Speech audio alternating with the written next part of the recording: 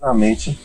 Que a gente tem que ter em média 70 centímetros dessa forquilha aqui embaixo, onde ele lançou, até aqui em cima, certo? Esse ramo vai ser considerado aqui e esse daqui, ó, pra cá. Depois disso, de cada ramo desse eu vou sair dois. Por que dois? Toda vez que eu tenho uma forquilha, eu forço o galho de baixo engrossar mais. E por que dois e não um? Porque um só eu distribuo mal o peso. E dois, eu divido a distribuição de peso. Então eu deixo minha planta equilibrada, tá? Thales, e por que você rebaixou esses ramos aqui? Eu rebaixei esse ramo porque na primeira poda, na primeira poda a gente retira muita área foliar. E por que retira muita área foliar? Porque eu tenho que esqueletar a planta, deixar somente os meus três e o que vai crescer fora dela eu domino para não crescer mais do que esse projeto. E aí vem um macete. O macete aqui é eu rebaixar os outros ramos mais baixos do que os que eu quero que fique. Por quê? Porque quem vai passar nessa planta aqui depois? Pode ter mais de um plantador na área. E geralmente tem. Então você faz a pessoa que vem passar aqui enxergar o que você enxergou. Porque se você tem esse macete, você sabe que está rebaixado mais baixo do que os outros, é ramo que eu não quero, que sai. Então na próxima poda, isso aqui cobriu, já não deixa esse meio mais exposto, ele lançou, cobriu, fechou. Eu venho aqui, ó, vai estar tá lá, claro que vai soltar a bruta aqui, mas você vai ver que tá, que foi rebaixado. Então isso aqui sai, isso aqui sai, isso aqui sai. E aí eu venho para a construção de cima. Quando eu venho na de cima, eu tenho que deixar uma distância vertical aqui de uma para outra no mínimo de 10, no máximo de 20 centímetros. Thales, e por que eu tenho que fazer isso? É obrigatório para você selecionar bem.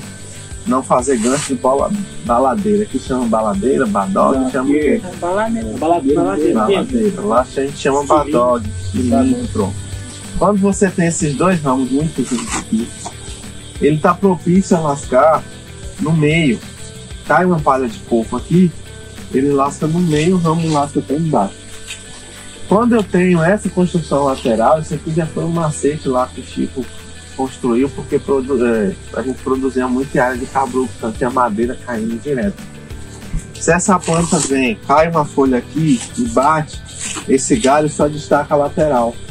E ela solta pro broto aqui, eu continuo consigo reconstruir essa planta de maneira fácil, tá? Então a gente tem que ter essa distância entre 10 e 20 no máximo, tá? Então eu não posso ter esses dois aqui, eu não posso ter dois na ponta. Se eu tiver esse, eu tenho que puxar outro aqui mais embaixo, certo?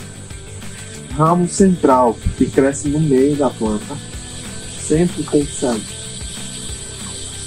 Ah, tá bonito, tem que sair porque ele é dominante. E outra coisa, o que vai ser produtivo também é aquela palma chupadeira que tem que pontuar também? É, a palma o que acontece? A palma chupadeira você tem um alongamento, é uma palma mais vigorosa, então um plagiotrópico com mais vigor. O que é plagiotrópico? Plagiotrópico é esse ramo aqui que é mais produtivo, ele só lança de um lado e de outro. O ramo ortotrópico é aquele broto chupão que tem sai um pé de galinha em cima, que é uma joquinha. E ele lança em espiral, todos os lados, tem fundo. Então aqui, enxerção de ramos plasmatópicos que a gente usa, né? E você vai ter uma palma que pode sair aqui mais tarde com mais vigor. Essa palma tem muito mais vigor de crescimento, então cresce muito, produz pouco e a distância entre uma folha e outra é mais alongada. Em vez de ter uma aqui, ela vai ter muito em cima. Quando ela é mais alongada, tem menos almofada floral. Por quê? Cada folhinha dessa, onde for uma folha, vai ser uma almofada floral lá na frente. Então você tem menos produção. E voltando para o ramo central. O ramo central ele cresce aqui, sobe aqui no meio, cresce mais que os outros e abre. Quando ele abriu, ele faz o quê? Começa a sombrear. E isso aqui começa a baixar. Baixou, perdi ângulo, não volta mais. Quem é vira a planta agora? O ramo central. E o ramo central, se você puxa ele aqui mais para cima, em vez da gente ter essa abertura aqui em 40, para soltar esses galhos, você veio para 60, 70, aí você fala, perdi 30 centímetros, né? Na verdade, você não perdeu 30. De cara, você puxou para 70, é 70 vezes 3. Então você perdeu 2,10 de ramo de madeira de produção, cacau produzindo madeira.